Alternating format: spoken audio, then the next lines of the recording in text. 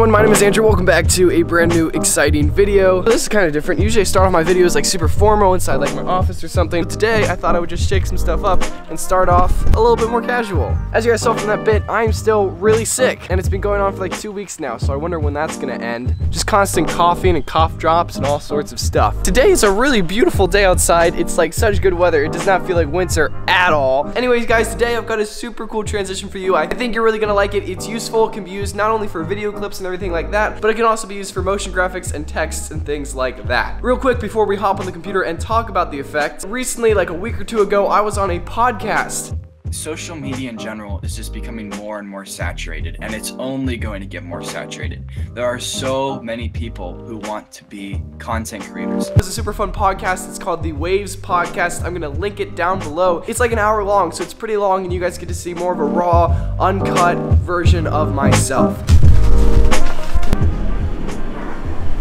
Alright everybody, so I'm on the computer now inside of Adobe After Effects. I've got three clips right here. Now the first thing you guys need to do is head down to the description of this video and download the ink background footage. Just hit the drive link and it's going to bring you to a page that looks something like this and you can just select the footage, right click, and hit download. Now there's two different versions of these. There's the MP4 ink footage and then there's the AVI ink footage. The MP4 is going to be a lot easier to download. It's not going to take nearly as much time, but it's going to be a little bit more difficult to work with. Whereas the AVI footage, it's the highest quality version and the background, the black, is already going to be transparent. So you're not going to have to key it out or anything like that. I'm going to go ahead and show you guys how to do the AVI footage first because it's easier. And then after that, I'll show you how to use the MP4. So it's really, really quite simple. What we're going to do is choose one of these three different variations of the ink. We're going to drag it on top of this second clip here.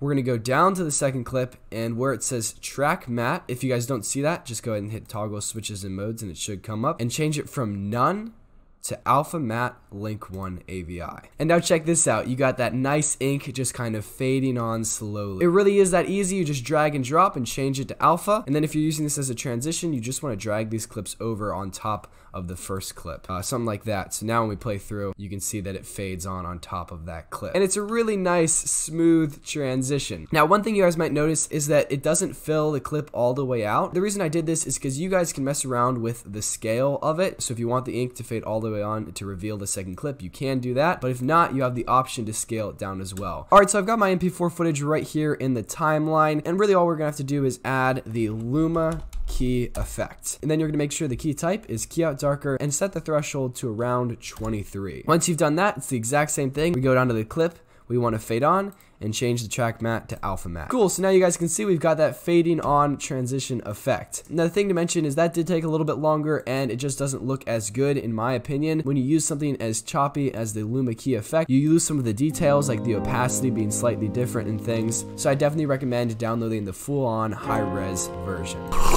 Anyways guys, I hope you enjoyed this video. If you did, give it a thumbs up, subscribe, and then hit that bell next to the subscribe button to turn on post notifications. Comment down below letting me know what videos you guys want to see in the future. I think that's about it, so I'll catch you guys in the next one. Peace.